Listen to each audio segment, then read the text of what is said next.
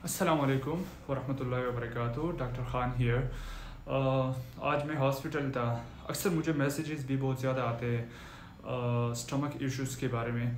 लोगों को stomach problem होते हैं स्टमक एसिडिटी मैदे की तेज़ाबियत और मैं आज हमारी ओपीडी थी तो सेवेंटी सिक्सटी परसेंट पेशेंट जितने भी होते हैं, ये सारे आते हैं मैदे के मसाइल के साथ। तो मैंने सोचा इस पर मैं एक छोटी सी वीडियो बनाऊँ ताकि आप लोगों को मैं बताता चलूँ। कि ये क्यों होता है? पाकिस्तान में इतना क्यों कॉमन है? आई नो पाकिस्तान में ज़्यादातर लोग स्पाइसी uh, खाने पसंद करते हैं स्मोकिंग भी बहुत ज़्यादा करते हैं बहुत कॉमन है पाकिस्तान में। लेकिन uh, जो सबसे बड़ी वजह है जो बिल्कुल सबसे बड़ी वजह है वो है स्ट्रेस वो है एनजाइटी वो है डिप्रेशन आप लोगों को पता होगा चाइनीज़ जैपनीज़ ये लोग बहुत ज़्यादा स्पाइसी खाने खाते हैं लेकिन लोग मैदे के इतने मसाइल नहीं होते। हमारे यहाँ पाकिस्तान में जो हम मेडिसिन लेते हैं P P I proton pump inhibitors जो ओमेप्राजोल वगैरह, जो हर कोई लेते पाकिस्तान में बिकॉज़ बहुत ज़्यादा मसले हैं स्टमक के। ये क्यों स्ट्रेस है?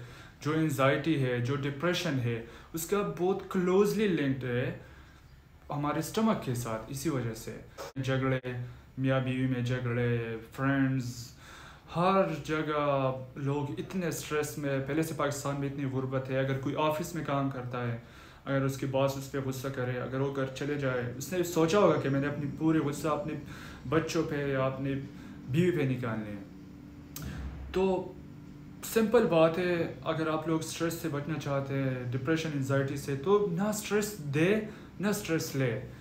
एंड बहुत सिंपल फार्मूला है स्ट्रेस के लिए। कि जियो और जीने दो। अगर कोई ज़्यादा कमा रहे, अगर कोई खुश है, अगर कोई अच्छा काम कर रहे हैं तो आप लोग अप्रिशिएट करो, खुश हो जाओ। हमारे यहाँ इधर ज़्यादातर लोग इसी वजह से डिप्रेशन में जाते हैं, इसी वजह से स्ट्रेस में जाते हैं। देखते हैं कि उसने तो बड़े महँगे फ़ोन है, उसके पास गाड़ी है, घर है, ये है, वो है, मेरे पास तो नहीं है। तो इसी वजह से ये लोग स्ट्रेस में जाते हैं और आहिस्ता आहिस्ता ये और स्पेशली आजकल जो यंग फीमेल है, जो मेरे बहनें हैं, उन बेचारों का इतने पेशेंट ओ में आते हैं। स्ट्रेस डिप्रेशन एनजाइटी के साथ रात को नींद नहीं आती स्टमक इश्यूज़ है, ये है, वो है इरेगुलर पीरियड्स अक्सर बहुत सारे मसले, ये सारे डाइट की इसी वजह से। आजकल स्पेशली गर्लफ्रेंड बॉयफ्रेंड ये पता नहीं क्या पाकिस्तान में बहुत ज़्यादा आम हो गया है। डेली ब्रेकअप हो गया, ये हो गया, वो हो गया, लड़कियाँ बेचारे फिर रोते हैं।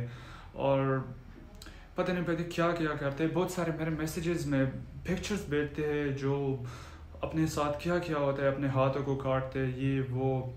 इसकी वजह से वो फिर स्ट्रेस में जाते हैं डिप्रेशन में चले जाते हैं। और जो कि मैं इसके बहुत ख़िलाफ़ हूँ पाकिस्तान में जो anti depressant S S R I S N R I benzodiazepine वगैरह।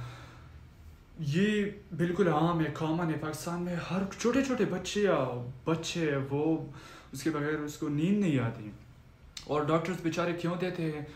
क्योंकि उसके पास पेशेंट आते हैं, उससे तीस, चालीस डॉक्टरों के पास तो गया होता है। पेशेंट पहले से, उसके स्टमक प्रॉब्लम है, बल्कि ठीक नहीं होता, बिल्कुल ठीक नहीं होता। उसको पता नहीं होता कि उसकी मेन कॉज क्या है, किस वजह से है। तो फिर जो डॉक्टर्स होते हैं, वो बेचारे मजबूर हैं। वो फिर आपको एंटी डिप्रेशन पे, फिर आपको एंटी साइकोटिक इस ड्रग्स पे आपको डाल लेते क्योंकि इसके बगैर तो फिर गुजारे नहीं होता, ठीक ही नहीं होते। तो सिंपल बात है, अगर आप लोगों ने ये बीमारियाँ ख़त्म करनी है तो सिंपल बात है, आप लोगों ने क्या करना है? आप लोगों ने स्ट्रेस एनजाइटी डिप्रेशन इसको ट्रीट करना है। कि आपको स्ट्रेस किस वजह से है? आपको डिप्रेशन किस वजह से है? किसी दूसरे की वजह से अपनी सेहत को क्यों ख़राब कर रहे हो? खुश रहो और दूसरे को भी जीने दो। अगर कोई अच्छा कर रहा है, उसको अप्रिशिएट करो। इस पर मैं अलग एक वीडियो बनाऊँगा पाकिस्तान में स्पेशली हमारी जो फीमेल है उसमें बहुत कॉमन है। आजकल यंग फीमेल स्टूडेंट्स हॉस्टल में बच्चियाँ बेचारे, जो कहते हैं, लड़के ने मेरे साथ धोखा किया, ये किया, वो किया, इसकी इसी वजह से फिर वो लोग डिप्रेशन एनजाइटी में चले जाते हैं। इसके बारे इसके बारे में एक पूरी वीडियो में बनाऊँगा। लेकिन अगर आप लोगों ने स्टमक इश्यूज़ जो मैदे की तेज़ाबियत है ये सब कुछ कॉन्स्टिपेशन कॉन्स्टिपेशन के बाद फिर ज़ाहिर सी बात है हेमोराइड्स वगैरह बहुत सारे कम्प्लिकेशन है। तो अगर आप लोगों ने इससे बचना है तो आप लोगों ने क्या करना है? आप लोगों ने स्ट्रेस एनजाइटी डिप्रेशन इसको ट्रीट करना है। और इस पर भी मैं एक पूरी वीडियो बनाऊँगा इन सो आई होप वीडियो अच्छी लगी होगी आप लोगों की। ऐसे मैं वीडियो नहीं बना सकता, इतना मुझे कोई एक्सपीरियंस नहीं है, लेकिन कोशिश करूँगा, अगर आप लोग की अवेयरनेस के लिए मैं कोशिश करूँगा अच्छी अच्छी वीडियोज़ बनाऊँगा. Thank you for watching okay अल्लाह हाफिज़ दुआ में याद रखिए.